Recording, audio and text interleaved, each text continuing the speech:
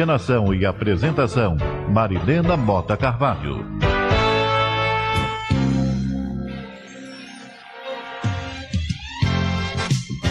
Olá, queridos ouvintes da Rádio Rio de Janeiro. Aqui estamos depois, né, do período de, de janeiro com gravações, né? Nós aqui estamos com o nosso Educar para Crescer ao vivo e com a nossa querida Michelle Esos, que hoje irá conversar conosco sobre o carnaval. Quero muito agradecer o carinho, a atenção de todos os nossos ouvintes da Rádio Rio de Janeiro, do Facebook, da internet. Muito obrigada a todos. E a toda a equipe da Rádio Rio de Janeiro que permite nosso programa no ar. Muito obrigada a todos. O telefone à disposição dos nossos ouvintes é o 3386.400 e tem o WhatsApp 984867633. Bem, nós vamos então iniciar o nosso programa apresentando a nossa Michele, que já esteve conosco em outras oportunidades. A Michele é do CEOI, que é o Centro de Educação e Orientação Espírita Jesus Gonçalves, que fica lá na Taquara, na rua Mapendi, 158. E no 288 também. A Michele vai passar para os nossos ouvintes o horário das reuniões públicas da evangelização e o telefone de lá é o 3342-6229. Já adianta assim algumas coisinhas e passo a palavra então para a nossa Michele, que é coordenadora do curso sobre o livro dos médiuns. Michele. Bom, a nossa casa tem reunião doutrinária às terças-feiras, às 20 horas. Temos também aos sábados, às 19 horas. E aos domingos, pela manhã, às 10h30. É, ao mesmo tempo que nós temos a reunião doutrinária, nós temos também o trabalho da evangelização infantil com as crianças. Uhum. No domingo também, junto com o trabalho das crianças, também tem o trabalho com os jovens, que é feito no mesmo horário. Uhum. Além disso, a casa ela conta com vários cursos, né? Curso do Livro dos Médios, todo o Pentateuco e vários outros cursos. Então, não tem desculpa para não estudar. então, reunião doutrinária é terça, quinta, quinta sábado. Quinta-feira de manhã às 10 horas. Quinta é 9 horas. 9 horas. É isso, exatamente. Bem, antes de passar a palavra para a nossa Michele, que irá discorrer sobre o nosso assunto de hoje, nós vamos então passar para os nossos ouvintes alguns trechinhos do capítulo 6 do livro Entre os Dois Mundos, do nosso Divaldo Franco, pelo espírito Manuel Filomeno de Miranda.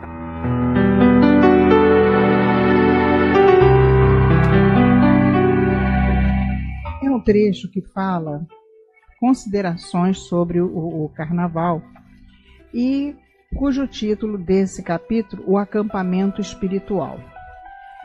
E resolvemos destacar alguns trechos para nossa reflexão de extrema importância. Nos diz assim: Em face dos desconcertos emocionais que os exageros festivos produzem nas criaturas menos cautelosas, há uma verdadeira infestação espiritual perturbadora da sociedade terrestre quando legiões de espíritos infelizes, ociosos e perversos são atraídas e sincronizam com as mentes desarvoradas. Nesse período, instalam-se lamentáveis obsessões coletivas que entorpecem multidões, dizimam existências, alucinam valiosos indivíduos que se vinculavam a formosos projetos dignificadores.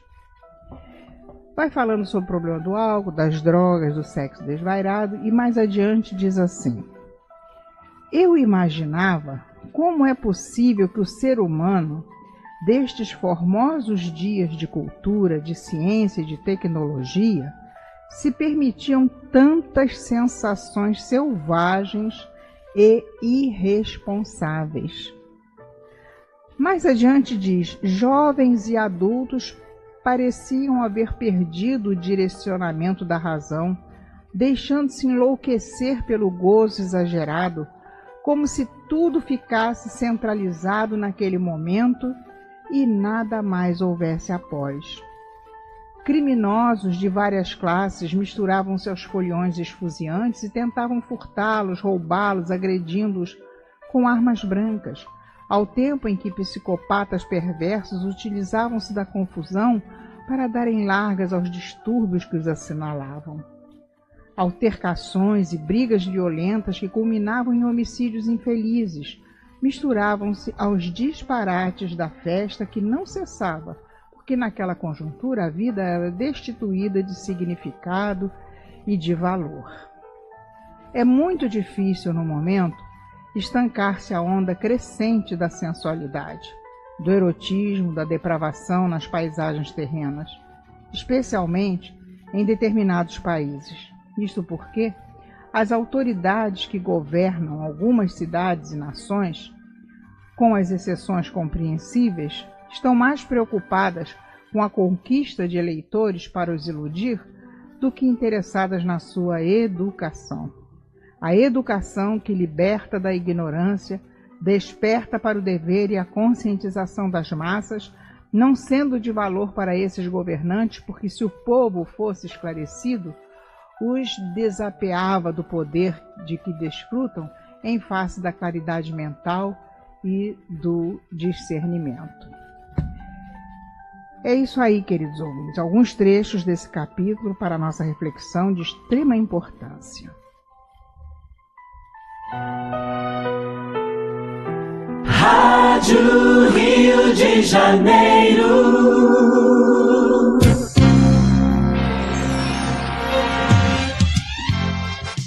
Tenho certeza de que os nossos ouvintes, né, estão aí refletindo já sobre esse período de festa, porque antes era só nos dias, né? É domingo, segunda e terça. Agora a gente vê que é a semana inteira, é o mês inteiro, no Natal já estão falando em carnaval. Então isso aí ficou complicado para a cabecinha de muitos dos nossos irmãos que querem paz, querem sossego, como nós, né? Mas a gente não tem como, a gente não, não, não, não pode recriminar nada disso, porque nós também, né, nesta ou em outras vidas, já aprontamos bastante. E hoje estamos aqui na posição de ajudar a refletir aqueles que ainda não se encontraram. Por isso convidamos a Michele para que ela possa conversar conosco. Michele, o que você pode trazer para os nossos ouvintes com relação a essa preparação interna de cada um para esse período de festas momescas?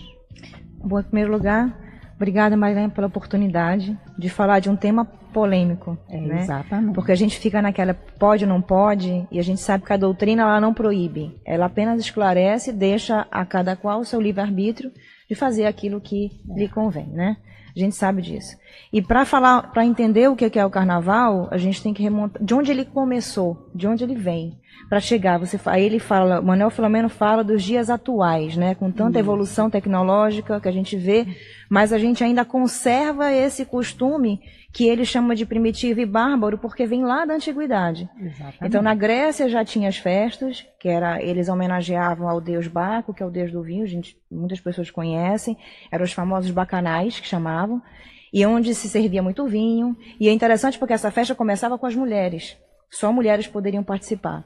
E aí com o tempo, eh, os homens foram sendo introduzidos nessas festas e em função da desordem que isso causava, quando essas festas migraram da Grécia e foram introduzidas em Roma, e chegou em Roma a proibirem, em função do, da desordem que causavam, enfim.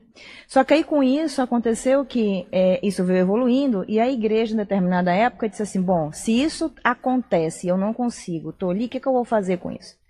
Então a igreja começou a, a colocar as festas do carnaval antes do período da quaresma, que é o período que se inicia na quarta-feira de cinzas e termina na Páscoa. Né? Então, esse período que antecede ao quaresma é o período que tudo é permitido. É o que se diz, né? Então, carnaval, a palavra carnaval vem do latim car carnavale, que significa Deus a carne, ou a carne nada vale. E isso é ao pé da letra, você vê que essas festas se transformam exatamente nisso, em que se esquece por um período aquilo que se é, aquilo que se apresenta na sociedade, porque muitas das vezes essas fantasias, a forma como você se apresenta e toda a vazão que se, que se é dada, todas essas sensações, eh, na verdade, coloca-se para fora aquilo que cada um tem dentro de si. Mas é permitido, porque logo em seguida vai vir a quaresma. Nem que depois venha se arrepender pro resto da vida, né? É, e aí é o que acontece, né? Então, o Manuel Filomeno, essa obra que você leu o trecho entre os dois mundos, não é a primeira obra que ele aborda. Exato. Se eu não estou enganada, esse, essa passagem que ele relata é num carnaval até fora de época, acho que numa cidade litorânea, porque além do carnaval, a gente tem o carnaval fora de época, que é muito comum no Nordeste, é em dezembro, em outros dias, em outros meses do ano. Então você vê que o quê? A mesma, essa mesma perversão que ele comenta é visto nessas festas fora de época também. Agora, o que que acontece? Ele traz, ele aborda nessa obra, numa primeira obra ele abordou eh, Nas Fronteiras da Loucura, que foi o livro que eu li, há mais, mais de 20 anos, com certeza. Eu lembro que eu era muito jovem quando eu li, e esse livro me deu um choque. Muito jovem quando ela leu, imagine. É, ainda mas jovem. pelo menos uns 20 anos. E eu me choquei com aquilo que eu li, né? Eu já não gostava muito de carnaval, mas aquilo me chocou. Pela forma como Miranda coloca a situação que acontece no plano espiritual. Ou seja, nesse período, todos esses espíritos que não estão necessariamente estão na crosta, É. mas estão em zonas mais inferiores, eles vêm à crosta terrestre e começam a se vincular através do pensamento a, a aos foliões. Exatamente. E essa comunicação, essa, essa conexão é de pensamento a pensamento. A gente sabe que ela existe, mesmo porque os espíritos esclareceram Kardec quanto à influência dos espíritos em nossos pensamentos. Então, eles influenciam os nossos desejos. Claro que eles não vão influenciar, não vão colocar em mim um desejo que eu não tenha. Eles vão trabalhar as minhas fraquezas. Exatamente. Por isso que Emmanuel ele esclarece quando ele fala que a tentação, tem uma mensagem do Emmanuel, eu não vou me recordar agora o título, mas ele fala a tentação ela não está ela não tá é, fora, ela está dentro de você. Então, quando você entra em contato com aquilo que você ainda gosta, que é um vício que te satisfaz, aquilo Acorda. você acorda e aquilo te atrai. Então, o que, que acontece? Então, esses espíritos, eles vêm, eles influenciam, por isso que você vê é, uma exacerbação do- dos vícios em geral, dessas sensações. Aquele que bebe um copo vai beber dois, três, quatro. Aquele que gosta do sexo, ele vai se envolver cada vez mais. Então, essas relações são relações de vampirismo, obsessões complexas, porque elas fomentam o vampirismo. Esses irmãos, esses irmãos desencarnados, eles se vinculam aos encarnados, sugando essas energias, porque eles precisam. O Miranda fala, né, você pensa, você pensa que é só o encarnado que gosta da festa? Não. É. O desencarnado que está no outro plano, que já não tem mais o corpo para usufruir, ele precisa de nós para dividir com ele essas sensações. E aí é onde nos leva à exaustão, não é? Porque nós estamos afinizados e vai nessa caminhada até a exaustão. Exatamente. E essa exaustão a gente pode observar muito claramente quando você vê que as pessoas não se satisfazem. Você, fa- você falou que as festas começam um mês inteiro. E realmente, o carnaval no Rio de Janeiro começou há mais de três semanas. Eu escutei isso na televisão. Então você, as pessoas vão para as festas e cada vez mais se envolvem mais com aquelas sensações. Exatamente. E o vampiro está sugando, então ela quer mais, ela não se satisfaz. Então gera aquela insatisfação e, e a sensação de estou, estou incompleto, preciso de mais. E aí vai continuando esse processo é, de obsessão. É, bom, essas fantasias, um outro interessante no Sexo e Obsessão, meu Manuel também aborda Isso, isso. E foi outra, outro livro que eu li que também me chamou a atenção dos carros alegóricos. Carros alegóricos. Quando ele descreve na, naquela zona inferior, onde aqueles irmãos ainda que dependem muito do sexo, eles criam que eles, eles, claro, tudo é feito por pensamento, né, criação do pensamento, eles criam aqueles carros alegóricos, aquelas fantasias obscenas e chocantes, e fazem aquele desfile. Então você cria a relação entre aquilo que a gente vê hoje na mídia, aquilo que acontece no carnaval, com aquilo que é feito no plano espiritual. E os carros alegóricos que a gente vê lá no desfile da avenida, né, através dos meios de comunicação, a gente vê que são realmente figuras grotescas. Alguns são, né? Quer dizer, e, e é interessante porque o carnaval você tem um, um, contraste, ao mesmo tempo que você tem a beleza, o brilho, e você vê alguns artistas que ali está empregando pessoas, você vê que tem Isso. artistas que amam aquilo, estão ali empregando o seu amor, né? Todo o seu trabalho e, e estão recebendo um salário por aquilo. Esse é um lado.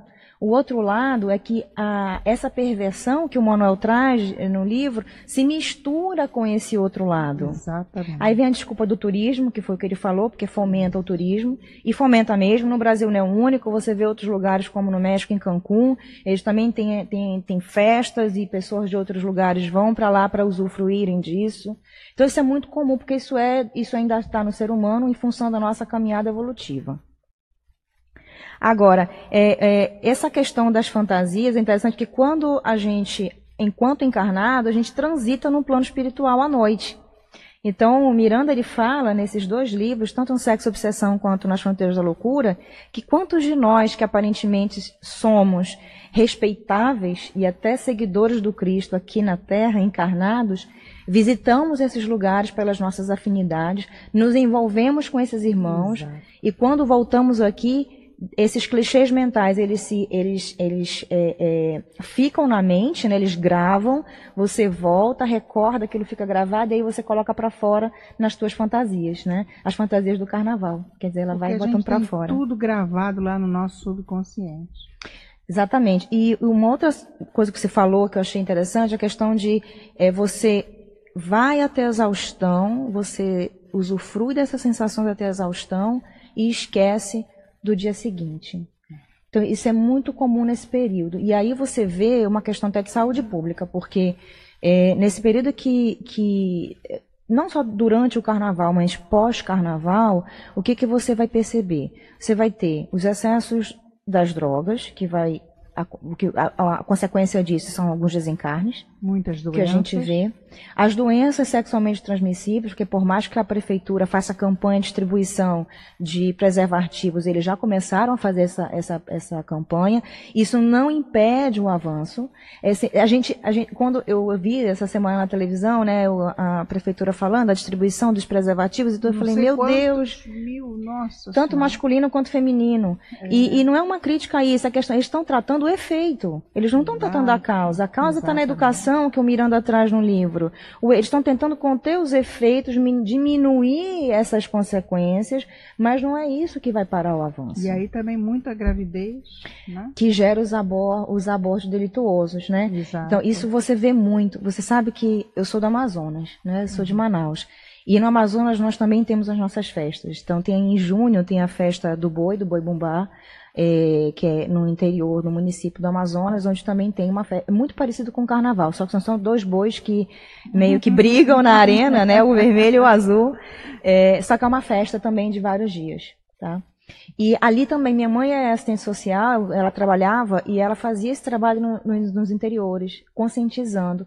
E ela ficou horrorizada quando ela foi uma vez é, fazer um trabalho nesse lugar aqui em Parintins, porque a quantidade de garotas de 15 anos, até mais jovens do que isso, que apareci, engravidavam nesse período, se envolviam nessas festas, engravidavam, e aí a maternidade ficava cheia, aí você vê mães muito jovens, outras abortavam, aí você vai vendo os crimes que se cometem a partir dessa, desse, dessa loucura né, que é, as pessoas acabam se envolvendo.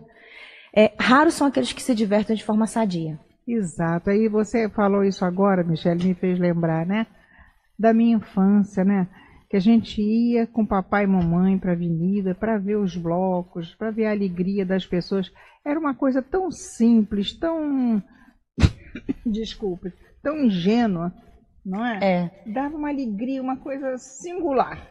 É, e isso é interessante porque você não precisa da, da droga, você não precisa do álcool, você não precisa dessa, do abuso da sensualidade para que você possa se divertir. É como o próprio Miranda fala, quer dizer, vários de nós temos nossas dificuldades temos é, esses vazios dentro, que nesse período você quer de alguma forma completar. Você não sabe como que você vai completar isso. Então, a ilusão é que essa festa, que essa alegria momentânea, ela vai fechar esse, esse, esse buraco, mas não vai, porque quando acabar, você vai continuar vazio. Exato. Você vai continuar sentindo esse vazio que não preencheu. São momentos.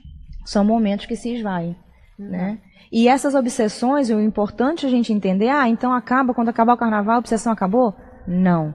O Miranda ele esclarece, ele alerta, cuidado, porque você se vincula a essas mentes, quando passa o período do carnaval, o que, que vai acontecer? Ele vai, eles vão continuar com você, se vinculando, porque eles querem continuar recebendo essas sensações. Exato, eles nos encontraram, né? nós estamos dando linha para a pipa deles, né? E aí você acaba levando eles para dentro da sua casa. Exatamente. E, é uma, um, isso é interessante para quem tem filhos. Porque muitas das vezes você vive algumas situações dentro do, do teu próprio lar, com os teus filhos, sejam eles adolescentes ou, ou ainda crianças, de desarmonia. Muitas dessas obsessões, não só estou falando do carnaval, mas em geral, você traz da rua para dentro da sua casa, aquilo influencia a tua família e você não sabe de onde veio. Daí a gente sempre lembrar da importância de cada um de nós, principalmente nesse período, se manter em prece. Despertou pela manhã, faz a sua oração pedindo bênçãos, não só para você e sua família, mas para todos, para que haja mais comedimento nas, na, nas comemorações carnavalescas, que a gente possa pedir proteção para aqueles que caem por que vão na inocência muitos, né? Vão assim na ignorância, é. exato, na ignorância. Então, que a gente não esqueça de fazer a nossa oração todos os dias por todos os nossos irmãos. Né? É importante você estar falando porque a gente sabe que a misericórdia divina ela alcança a todos nós. Isso. E mesmo que ah, realmente nesse período o Brasil, né, principalmente o Brasil, a gente está falando do Brasil, mas o Carnaval existe em outros lugares do Isso, mundo. Mas vamos exato. falar do nosso Brasil, que é onde a gente está agora. É, ele fica com uma nuvem muito densa. Aonde existem essas festas que se fomentam todas essas emoções, né, mais inferiores, é, eles descrevem no plano superior que exi- fica como se fosse uma nuvem negra. E os desencarnados eles se misturam muito com os encarnados de uma maneira que você não consegue distinguir quem é um do outro. E ficam imantados. Eles ficam imantados como se fosse realmente um encaixe perfeito de um Exato, sapato no pé exato. quando cabe certinho, né? É isso aí. Eu não sei se é no- nas fronteiras da loucura que ele eh, coloca da equipe espiritual que fica nas ruas no meio fio para auxiliar aqueles que eles conseguem se aproximar para salvar. É, é isso que eu ia até comentar agora. Quer dizer, a misericórdia ela chega até todos nós. Então, nesse período, é como se houvesse um grande recrutamento. Isso. Não que eles parem de trabalhar, porque eles não param nunca, mas nesse período são recrutados mais espíritos, né, desencarnados, e até próprios encarnados que durante o sono vão ajudar esses irmãos também. É montar esses acampamentos para ajudar, é, tentar realmente mudar o pensamento das pessoas que estão ali e também atender àqueles irmãos que desencarnam nesse período. Então, o que você falou da oração é muito importante para que a gente possa é, contribuir com boas energias a esses irmãos que estão em trabalho. Isso. Ô, Michele, o nosso relógio é implacável, então nós vamos agora fazer um intervalinho e daqui a pouquinho a gente volta. Continue participando. Está no ar. Educar para crescer. Este programa é oferecido pelo Clube da Fraternidade, que mantém a Rádio Rio de Janeiro no ar. Rádio Rio de Janeiro. Boa tarde. Você que é empresário, pequeno ou grande porte, diretor comercial ou gerente de mídias de sua agência de publicidade, coloque a Rádio Rio de Janeiro 1400 AM na sua programação de anúncios. Os ouvintes da Rádio Rio de Janeiro são formadores de opinião e podem fazer a diferença na divulgação e consumo dos seus produtos. Entre em contato pelo telefone DDD 21 3386 1404 ou pelo e-mail marketing arroba rádio Rio de Janeiro.am.br. Estamos esperando por vocês. O mundo tem perguntas, o Espiritismo pode oferecer muitas respostas. Fique por dentro dos temas da atualidade à luz do Espiritismo. Conheça a revista CELD uma publicação mensal do Centro Espírita Leão Denis, que aborda grandes temas do cotidiano à luz da doutrina espírita. Assine já e receba a revista em sua casa por um ano, com desconto de 33%. São 12 edições por apenas R$ 79,90. Frete grátis e você, ao se identificar como ouvinte da Rádio Rio de Janeiro, fazendo a sua assinatura anual, ganhará mais uma revista de brinde. Contatos, e-mail, distribuidora.leondeni.com.br ou ligue 21 2452 7700. Revista CELD. Leia mais, reflita mais. Aviso importante. Desde novembro de 2017, percebemos que o banco deixou de enviar os boletos para vários contribuintes do Clube da Fraternidade que ainda não cadastraram CPF em nosso sistema. No mês de janeiro de 2018, após muitas ligações e contatos com os mantenedores, conseguimos cadastrar o CPF de 200 pessoas, o que reduziu para mil mantenedores que ainda não realizaram cadastramento. Você que ainda não fez o cadastramento do seu CPF poderá fazê-lo pelo telefone 21 3386 1422 ou enviando seus dados com o CPF para o e-mail clube da fraternidade arroba Caso você não tenha tido tempo para atualizar o seu cadastro, poderá fazer por depósito avulso em uma de nossas contas nos bancos do Brasil, Bradesco, Itaú e Caixa Econômica Federal. Veja em nosso site os números das agências e contas www.radioriodejaneiro www.am.br.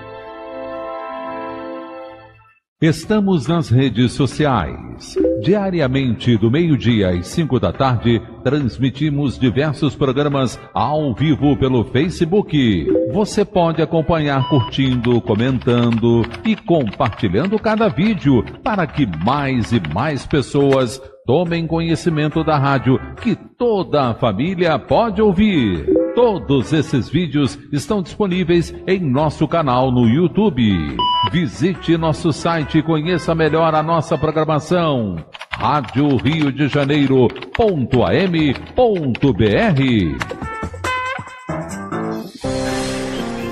Se você é participante do Clube da Fraternidade da Rádio Rio de Janeiro e não receber o boleto bancário até o dia 10 de cada mês para realizar a sua contribuição mensal, entre em contato conosco para que possamos enviar uma segunda via do boleto. Para isso, ligue 0 Operadora 21 3386 1422 ou envie mensagem para o e-mail clube da fraternidade arroba rádio Rio de Janeiro.am.br. Lembre-se, não recebendo o boleto bancário, entre em contato para emitirmos a segunda via do boleto e continuarmos juntos na, na família, família Rádio Rio de Janeiro. A Companhia Teatral Os Mensageiros apresenta a peça Entre Dois Mundos, dos autores Chico Xavier e Divaldo Franco, que fala sobre os espíritos anônimos e famosos que vêm explicar o que encontraram após a desencarnação. Dia 15 e 22 de fevereiro, quinta, às 8 da noite, Sala Municipal Baden Powell, em Copacabana, Avenida Nossa Senhora de Copacabana, número 360. Não perca a peça Entre Dois Mundos, do diretor Kaique Assunção. Teremos a participação especial da cantora Anatasha Mequena. Há vários postos de venda para saber mais, ligue. Telefone 3088-6519. 3088-6519. ZYJ 462, Rádio Rio de Janeiro, 1400 AM. 13 horas e 29 minutos. Voltamos a apresentar. Educar para crescer. Coordenação e apresentação: Marilena Mota Carvalho.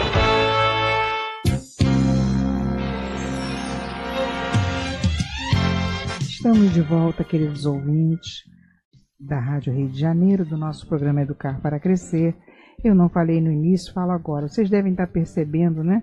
Que eu estou com muita tosse, estou aqui me controlando, a voz está diferente, mas tenho fé que nós vamos conseguir dar conta do recado até o término do programa. Então, muito obrigada pela paciência de todos vocês, queridos irmãos aí do Facebook, da internet, da rádio. Mais uma vez, obrigada. Estamos aqui para o trabalho, não é? Com muito amor, com muita alegria, porque é muito importante essa troca de energias que acontece aqui. E a nossa Michelle Esos, que está conosco hoje, né, conversando sobre o, o carnaval, vai dar continuidade ao nosso tema de hoje, lembrando a todos que não deixem de ser colaboradores, aqueles que puderem, da nossa querida Rádio Rio de Janeiro.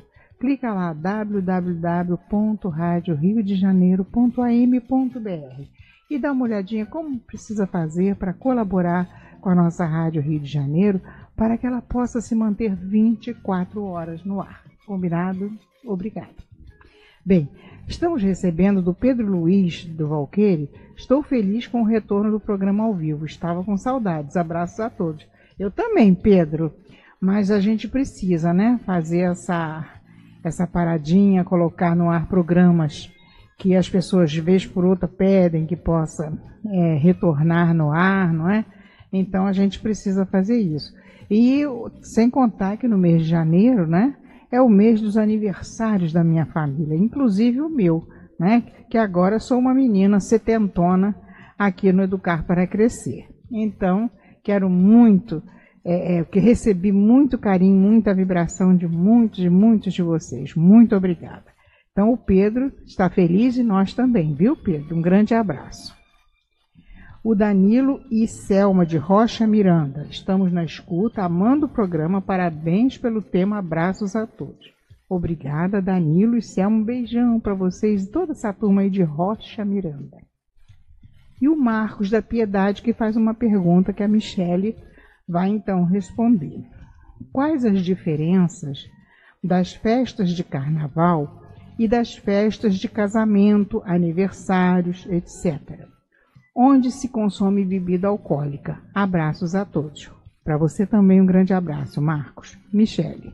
Bom, com relação, ele fez a pergunta com relação à bebida alcoólica, né? A bebida alcoólica, a gente sabe que em excesso, ela causa essa, essa, essa, essas obsessões por vampirismo. Uhum. É, a gente sabe que a medicina também recomenda uma dose, um cálice pequeno de vinho, porque ele, ele pode te ajudar na tua saúde. Mas isso é uma coisa, outra coisa são os excessos. Tá? A questão do aniversário versus o carnaval, existem festas, existe não é só festas de, de casamento, tem rave também que a gente sabe que acontece, uhum. são festas em geral onde esses espíritos se aproximam. A diferença é que no período do carnaval, pelo excesso dessas festas, dessas comemorações, esses espíritos que estão mais nas zonas inferiores, eles vêm para a crosta para participar da festa. Eu vejo essa principal diferença. A qualidade desses espíritos, a grande maioria deles são espíritos vampiros. Então eles vão estar numa festa, assim como vai estar num bar? Vai. Aonde existe o excesso da droga, do sexo ou do álcool, eles vão ali estar presentes. Muito bem. Obrigada, Michele. Então, dando continuidade ao nosso tema carnaval, Michele, o que mais você trouxe para os nossos ouvintes com o nosso tema de hoje? É, vamos falar também de como é que a gente se protege, como é que a gente falou um pouco de como é que a gente consegue auxiliar o plano espiritual que trabalha nessa época do ano para que possa ajudar aqueles que vão desencarnar nessa época, seja por um acidente automobilístico, porque acontece, a gente sabe, Exato, é, vai desencarnar talvez por uso excessivo de droga, ou vai se envolver numa briga, isso também vai acontecer. Tá. O que, que a gente faz para ajudar? Você já deu uma palhinha, né? quando você falou da oração. Então, quando a gente fala pelo do carnaval, é, eu quero deixar claro que a gente não está aqui para condenar ninguém. Tá? De novo, a doutrina, ela esclarece. Você tem que conhecer. A educação é a base de tudo. Então, o Miranda fala no trecho que você leu da questão da educação. O que, que é essa educação? A educação, ela começa com a nossa instrução. Então, quando eu comentei que quando eu li uh, Nas Fronteiras da Loucura, esse livro ele realmente me mudou, Por quê? Se antes eu já não gostava de carnaval, ver, ler e entender, aquilo me chocou de uma tal maneira que eu falei, eu não quero participar disso. Eu não quero ser vítima disso. Exatamente. Eu posso ter, e a gente tem que se conhecer. Então, a educação, ela parte do princípio de que eu me instruo, eu conheço. Então, eu conheço através das obras que esses espíritos abnegados trazem a nós, para que nós possamos fazer esse movimento de educação. É um convite a uma reflexão mais profunda. A reflexão. Então, o que, que a gente pode fazer? Aproveita esse período e reavalie as suas atitudes. Porque, na verdade, a gente tem que fazer isso sempre, não é só no período do carnaval. Então, a gente tem que fazer um trabalho de movimento interno, conhecendo, a instrução vem primeiro, depois você traz isso para você. Tá, o que, que isso está me ensinando? Olhar o outro cometer um excesso para apontar o dedo não ajuda.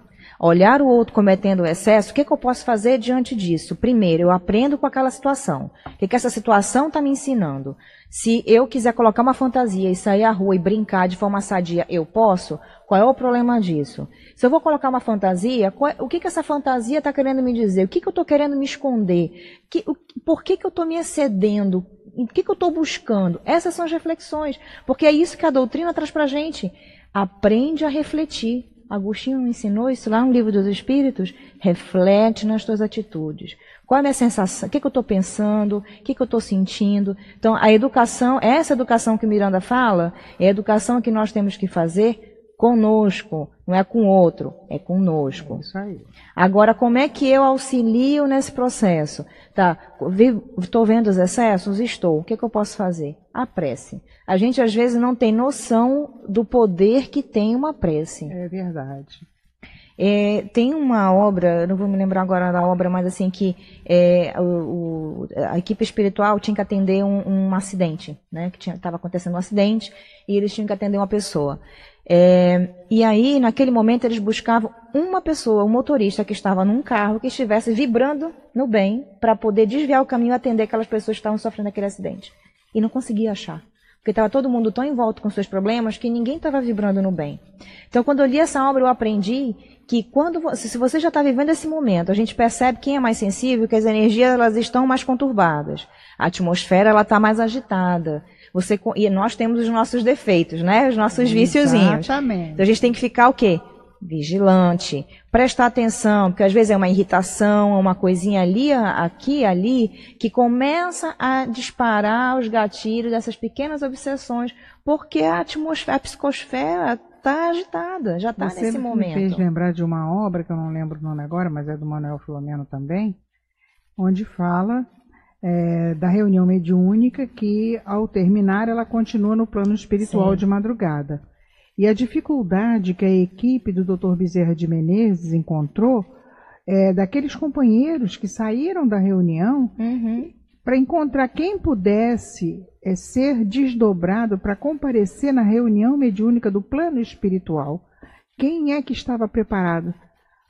Teve muita dificuldade, só encontrou uma senhora que estava preparada ao sair da reunião. Olha que coisa triste. Porque às vezes as pessoas saem e emendam o caminho, né? Às vezes Exato. é para uma festa, vai para algum outro Isso, lugar. Né? Exatamente. Né? E esquece que o trabalho continua. Exatamente. O trabalho não acabou. Exatamente. Então acho que quando a gente já a gente já conhece a doutrina, já, já tem acesso a essas obras que nos esclarecem, passa a cobrar, acho que é uma cobrança para a gente também, tá? O que, que eu posso ajudar a fazer com que vai resolver? Não vai resolver. Mas se todo mundo nesse período estiver vibrando no bem, procurar o seu divertimento de uma maneira alegre, saudável, estar com os amigos é muito bom.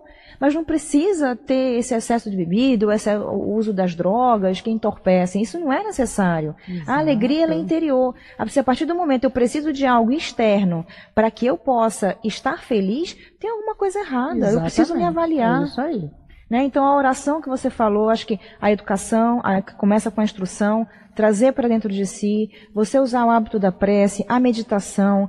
Quem gosta de estar mais sossegado, fazer uma viagem com a família, ir para um lugar mais tranquilo, num, num sítio, numa fazenda, num hotel, não importa, né? Ou até mesmo ficar em casa. É, e lembrando que ajudando a esses irmãos que estão no trabalho com as nossas vibrações amorosas. Exato. Se você está em casa, o seu lar é um polo de amor, de, de vibrações boas, na, através da oração que você faz todos os dias por esses irmãos, o seu lar não só é, vai irradiar para os vizinhos, seja casa, seja apartamento, vai irradiar para eles energias positivas, como vai é, ajudar aqueles que naquele momento você está enviando essas energias boas. Exatamente. E você sabe que nesse período, tanto eu tenho conhecimento da Igreja Católica, que eu sei que eles fazem, né, os famosos retiros nessa época. É, a, dentro do movimento espírita, a gente tem o ENEF, que é o Encontro da Família, né, Encontro Isso. Estadual da Família, é, que também ele e, e, o UNF ele também fomenta essa ajuda, porque a partir do momento que você reúne numa casa espírita é, várias pessoas que estão com a mesma vibração, com o mesmo pensamento, essas energias elas são utilizadas de forma deliberada pelo plano espiritual para auxiliar nesses acampamentos que o Miranda descreve nos dois livros dele, que é Nas Fronteiras da Loucura entre os dois mundos. Eu tenho certeza que uma das criadoras do UNF né, que foi através do, do grupo que fazemos parte na antiga ZERG, que agora é CERG, né, ou CERG, é, as Comerg, Darcy Neves Moreira, nossa querida Darcy, quantas e quantas Comerg, né, e tivemos a oportunidade de participar de muitas, meus filhos e todos, e a Berenice, né, foi uma trabalhadora incansável para é, que pudesse ser o mais divulgado possível o ENEF, que é o encontro da família na casa espírita no período do carnaval.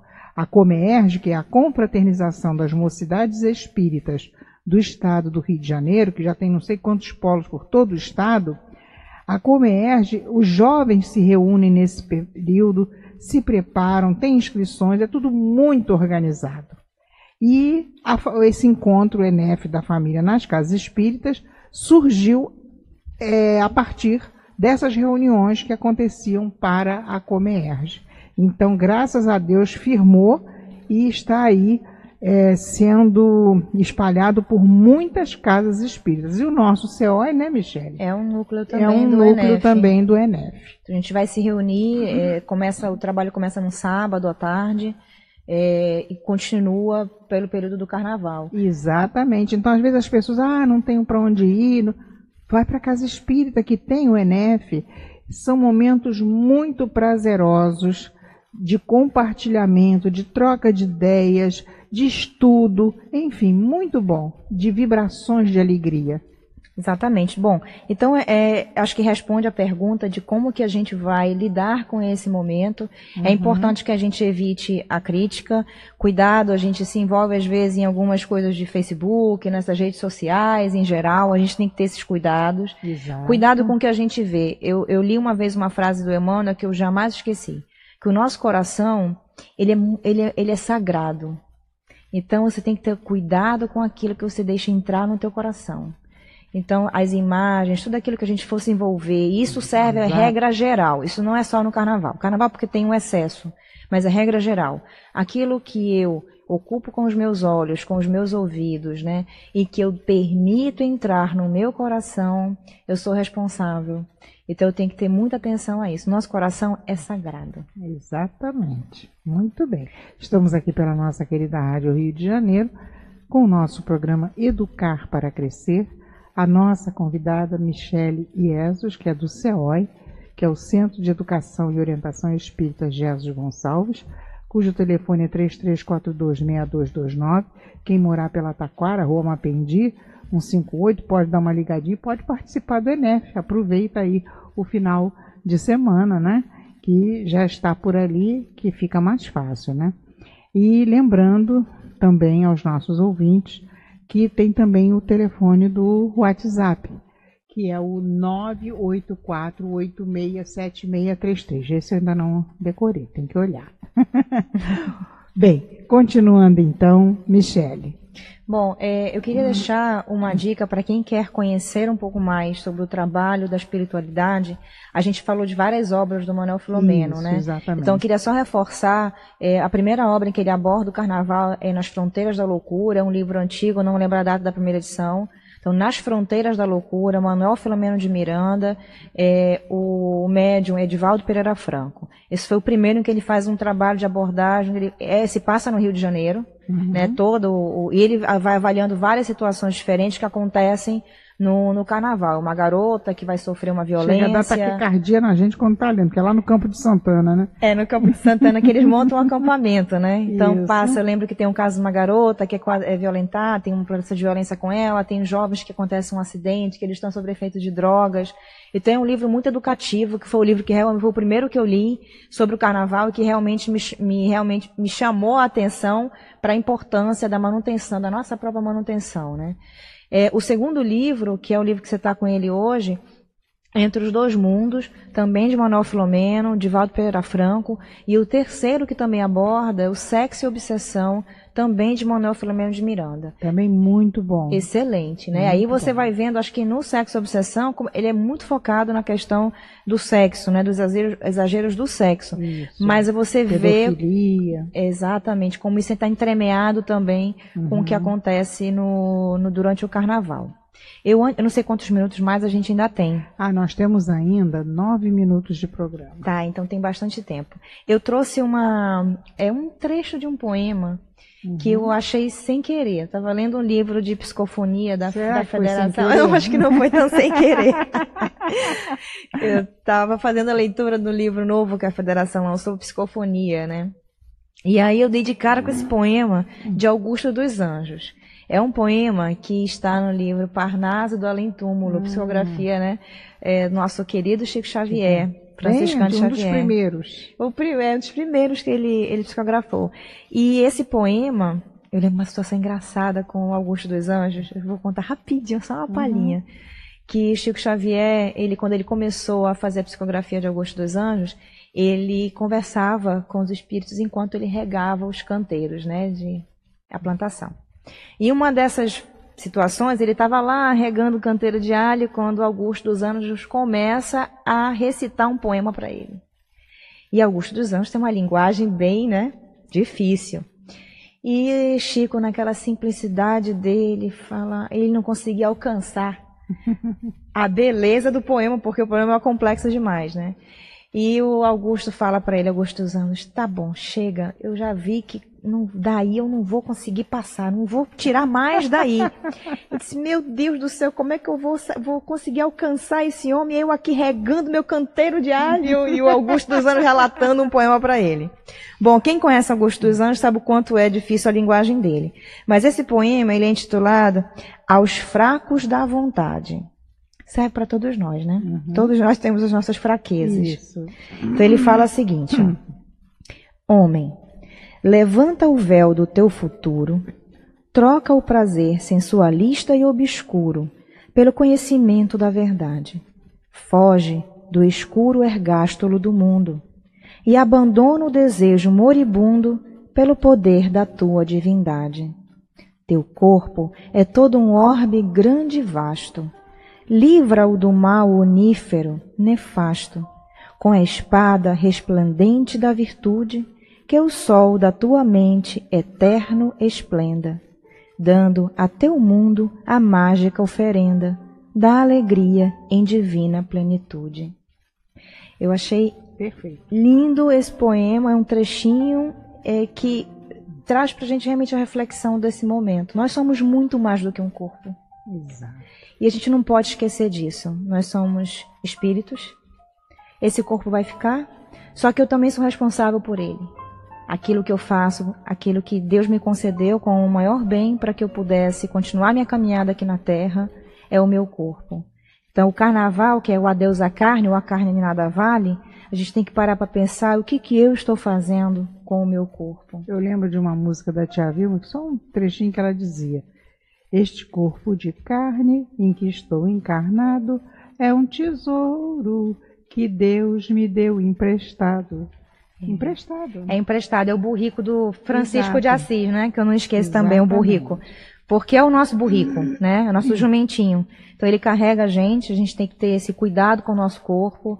É, o cuidado é realmente é cuidando da saúde, não só a saúde do corpo, a saúde mental é muito importante. Então a gente aproveitar o que a doutrina nos oferece, de todo esse conhecimento que nós temos, colocar em prática. Não é fácil, a gente sabe que não é, é um desafio todos os dias, mas o primeiro passo é o autoconhecimento.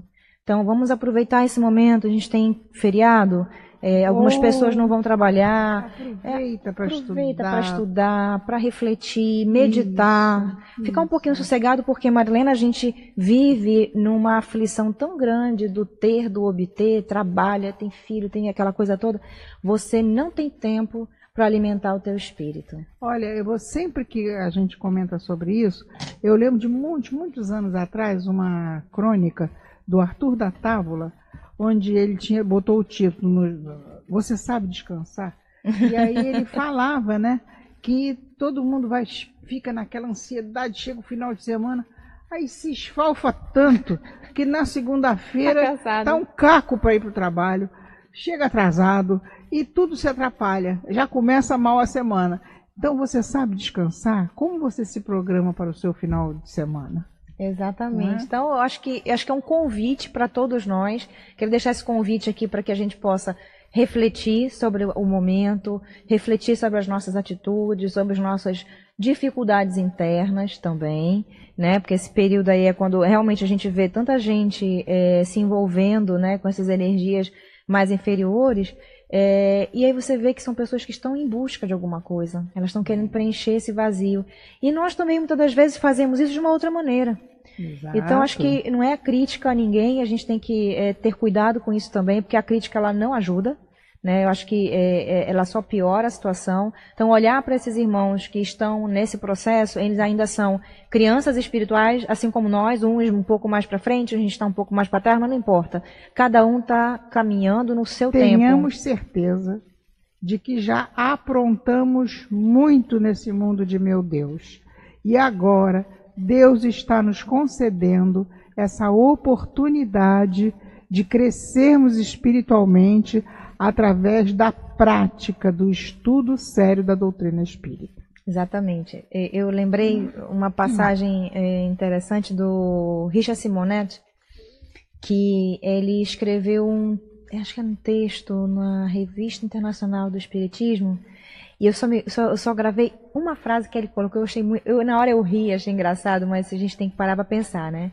Que ele falou, ele fala o seguinte, é, se você é capaz de pular o carnaval e não se envolver com nenhuma dessas energias, então vai pro carnaval com o evangelho de- debaixo do braço.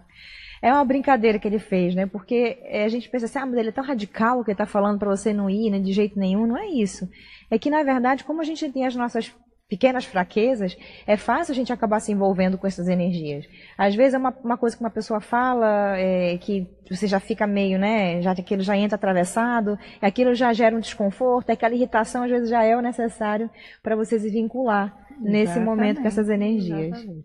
Olha, Michele, rapidamente, porque nós, nós só temos aí dois minutinhos de programa, as- algumas mensagens enviadas pelo WhatsApp, né? A Maria Clarice de Petrópolis, é, Marilena, Michele, muito importante esse programa, já ouvi muitos relatos sobre o carnaval, dizem que atrás do trem elétrico também vai, vai quem já morreu. Isso é muito sério, agradeço a doutrina espírita que nos esclarece, sou feliz, pois meus filhos não gostam desse carnaval. Obrigada, Maria Clarice. A Ângela de Belfort Roxo, boa tarde a todos. Por que tem casa que não funciona nos dias de carnavais alegando proteção aos frequentadores? Se o acaso não existe e os espíritos necessitados são mais presentes, não seria mais certo os centros organizarem para não fecharem nesses dias? É, tem alguns que, dependendo da localização, realmente não tem condições de abrir. Mas, Ângela, procure aquele que estiver mais próximo de você, que você possa compartilhar desse momento do ENEF. Um grande beijo. Ana Cris Nova Iguaçu, olá, tem como passar os endereços dos centros onde vai ocorrer o ENEF? Educar para Crescer, está maravilhoso, adorando o tema. E se esse encontro é é fechado com a Comércio, se possível, explique melhor esse encontro. Estão de parabéns. Obrigada, Ana. Não, dá uma ligadinha para o CERJ, é 22241244, horário é, comercial. E eles vão te dizer todas as casas, é, você pode também pegar pela internet, viu? E a Luísa Aquino de Magalhães Basto. É, queria saber se, de vocês se nesses dias de carnaval está lendo um bom livro espírita, ajuda a harmonizar a psicosfera ou só mesmo estando na prece. Claro, leia um bom livro. Nosso horário acabou. Michele, muito obrigada. Obrigada a você. Suas despedidas rápidas. Nossa, eu só tenho a agradecer, Marilena, por todo esse aprendizado né, e, e estar aqui com você é sempre uma satisfação. Fico muito alegre de estar Amo aqui. essa viu? menina, é um doce, gente. Muito obrigada, Obrigada de Michele. verdade. Muito obrigada a todos os ouvintes da Rádio Rio de Janeiro, do nosso Educar para Crescer, e até o próximo encontro, se Deus quiser. A Rádio Rio de Janeiro apresentou Educar para Crescer.